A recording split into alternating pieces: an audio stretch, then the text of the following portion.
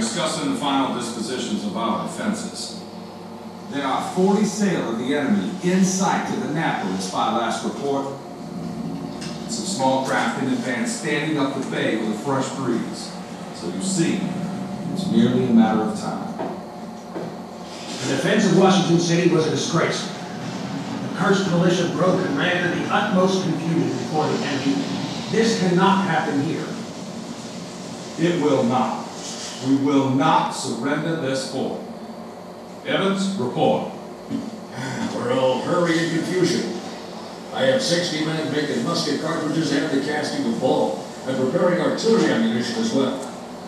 Muskets and pikes have been distributed should we have to defend the very walls of the fort.